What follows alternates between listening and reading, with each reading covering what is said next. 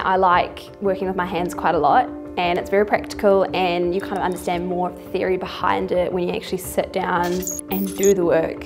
At first I thought I would just be sitting there, you know, creating a few teeth, making a denture, but it turns out there's so much more you can do. So there's been a few surprises. I get to play with flames every day.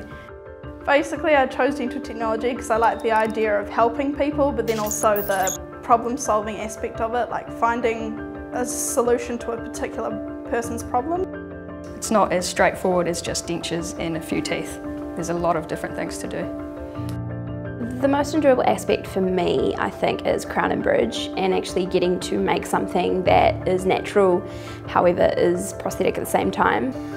We do have a little bit of theory, but it's not like you're sitting there in front of a, a computer screen all day. You're actually, you're actually doing what your degree is, which is cool the tutors and the teaching staff actually teach you everything you need to know and how you have to work with your equipment when you actually do get selected into the course. We work with dentists and other specialists to create the things we do so you learn to communicate with other people and you learn to work well as a team. If you're really interested, go and find a lab in your hometown. There, there are actually a lot out there. I had no idea that dental technology existed when I was at high school. So look in the yellow pages, go and find somewhere and just go and see what they do.